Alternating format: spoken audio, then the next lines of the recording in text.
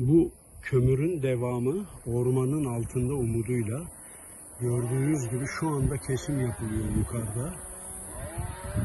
Ağaçları devire devire gidiyorlar. Bütün bu yamacı, güneye bakan yamacı böyle tıraşlamışlar.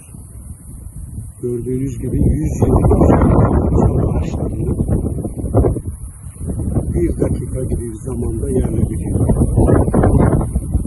Akbelen ormanını yok ediyorlar.